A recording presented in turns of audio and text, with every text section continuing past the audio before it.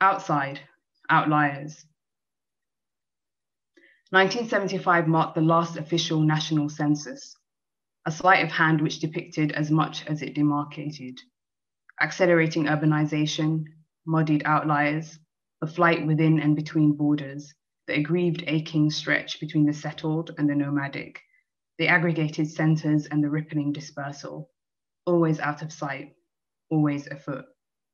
The year of arrested growth and bitter desiccation was also the year of the family law and the land law, the nightmare of the polygamist and the desire of the capitalist, hearth and home and horror.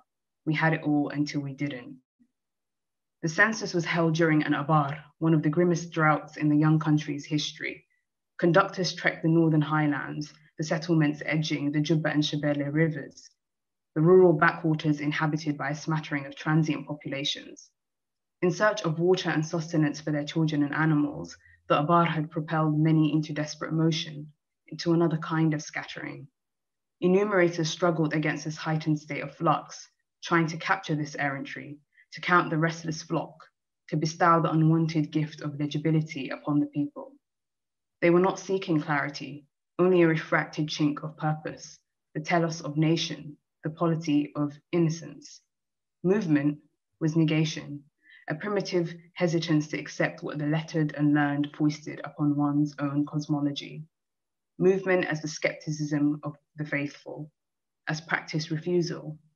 We are African because we are always moving, being made to move, being moved on and over.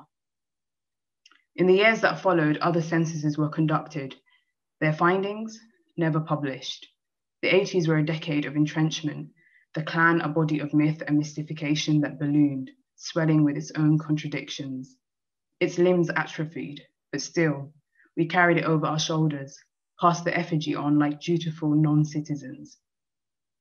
During that time, conductors were suspected to have exaggerated the size of their own clans. Some say government officials were shocked to discover the true numbers of minoritized groups and the disquieting possibility that their powerful clans were, in fact, statistical minorities. Legitimacy is disputed, our current state is its refutation. There is no way to determine which tribal affiliations, ethno-nationalisms, linguistic patterns, or territorial claims constitute an incontestable majority. The fraught political system hinges on the representation of all major clans on a patch of land where everyone thinks they are the majority. Men lie, women lie, numbers don't, until they do. The ripping up of land tenure and enshrinement of dispossession was also the year of the rural literacy campaign. Take with one hand, teach with the other. My city bred father sent to the hinterlands with a duffel bag full of thumbed through textbooks. The soft implosions of his breathing as a teenage lion, a male, poured the thatch fronds of the hut he slept in. The nights were agonizingly long. The nomads laughed at these sons of Red Sea traders and policemen, so detached from their milk memoried origin stories, possessors of weak stomachs and weaker dispositions, educated in the classrooms of former fascists, they had the audacity to be startled by the staccato of hyenas. 4.5, they formulated their monomania, portioned the system of recognition by way of home office, school gates, bus rides, supermarket doorways, bailiff, and bystander. We come to know ourselves through their miscalculations. We misplace the house keys we stole, shudder with abasement, lose the meticulously cultivated distance we wrung in the basin of the Indian Ocean, a distance from the abyss of Africanity, a distance from what, we can, what can be confined but never repressed, pursued but never outrun.